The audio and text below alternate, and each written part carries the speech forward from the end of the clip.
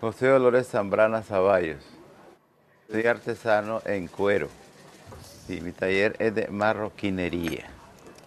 Y como yo de muy pequeña mi papá me enseñó lo que es este oficio de la zapatería, los ramos también, me fui haciendo más grandecito poco a poco con el tiempo.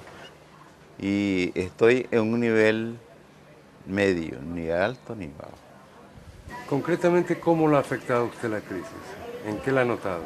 En, las ventas, porque yo vivo de mi venta. Es práctico. Va bajando, lógico, soy mal. Pero sí digo, yo tengo que buscar alternativas para seguir adelante. ¿Cómo y en qué forma? Buscar otras ideas para que mi producto darle un adorno, buscar otro, otro estilo, otra forma, otro lugar donde ir a vender también.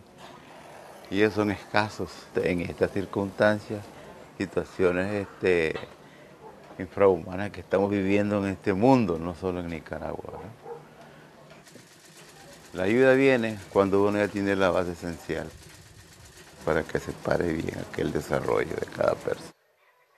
Fijarse en la crisis de cada quien